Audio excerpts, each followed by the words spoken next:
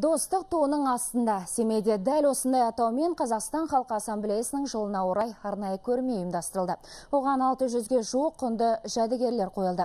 Олардың басым бөлігі суреттер мен ұлттық киімдер және қолданбалы өнер бұйымдары. Олардың көбісі жергілікті этно-мәдени бірлестіктер ұсынды.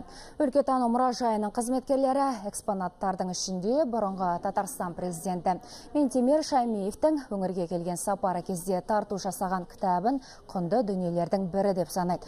Көрме негізгі төрт бөліктен тұрады. Негізгісі ел тәуелсіздігі мен Қазақстан халқы ассамблеясының 25 жылдығына арналған. Мұндай көрмелер ұлтаралық татулықты одан әрі жақсартып, достықты нығайтуға сеп болады дейді шараны ұйымдастырушылар.